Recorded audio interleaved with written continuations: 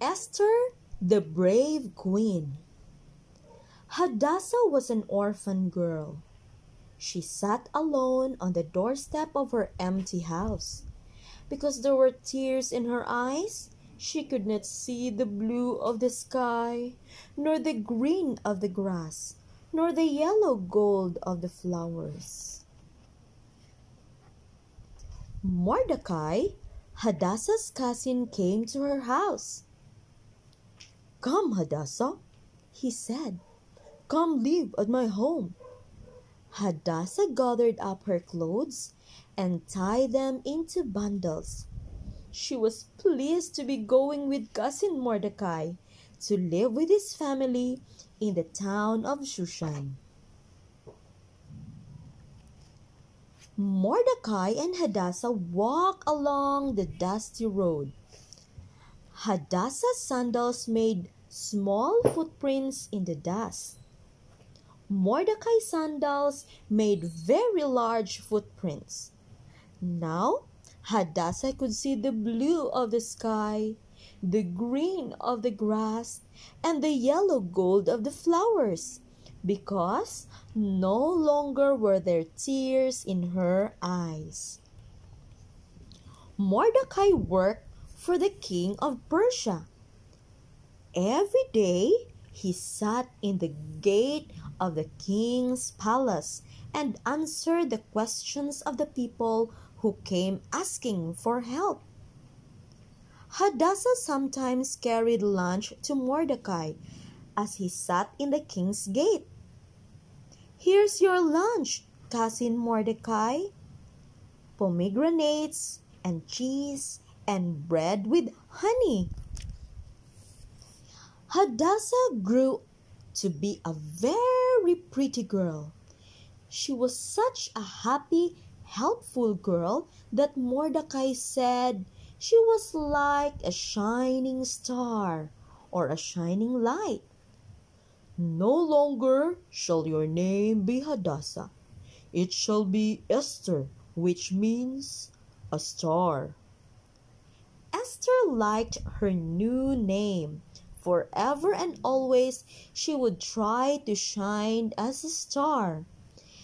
Esther, Esther, Esther.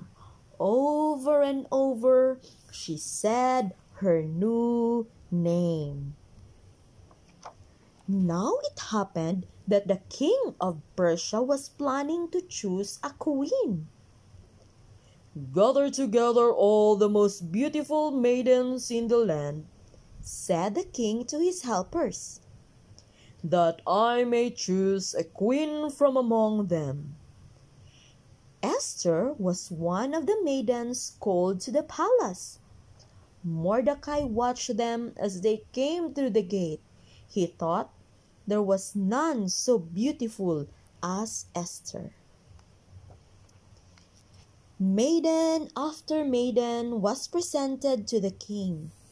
All of them were beautiful, but when the king saw Esther, the shining star, he said, Esther shall be queen.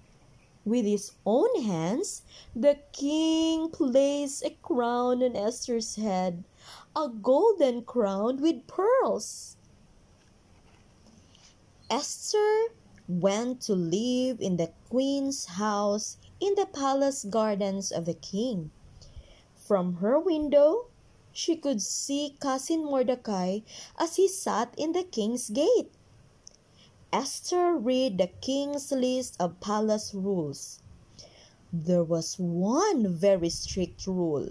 It said that no one must go in before the king unless invited.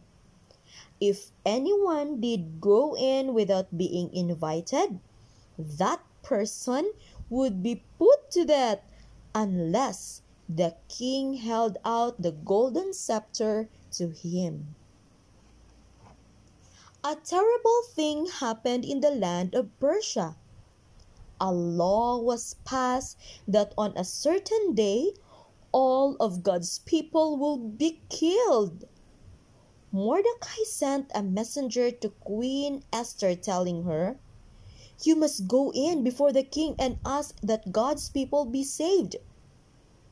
I dare not go before the king unless I'm invited, said Esther. If the king should not hold out the golden scepter to me, I would be put to death. No, I cannot go in before the king.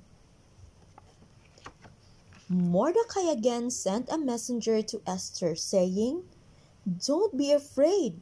Maybe God has let you be queen for such time as this. Queen Esther replied, Appoint three days of prayer, and then I will go in before the king and ask him to save God's people. If I perish, I perish. Esther and her maids prayed in the queen's house. Mordecai and his friends prayed in his house. All through the land of Persia, God's people prayed.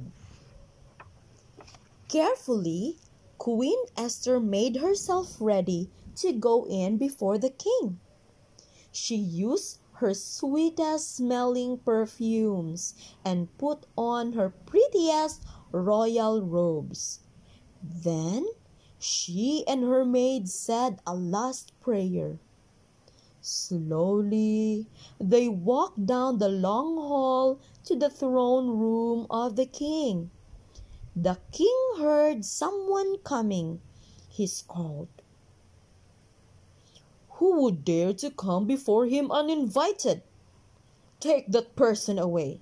He was about to say when he saw that it was a lovely Queen Esther who had come to see him.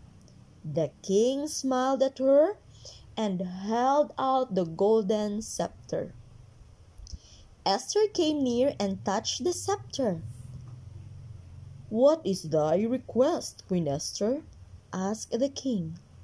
It shall be given thee even half of the kingdom. Esther invited the king to come to her house to a special dinner. At the dinner, she would ask the king to save God's people.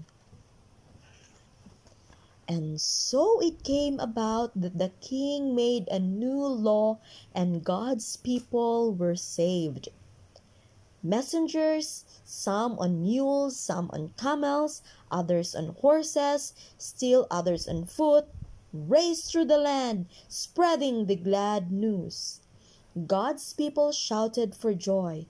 Perhaps the happiest of all was Queen Esther.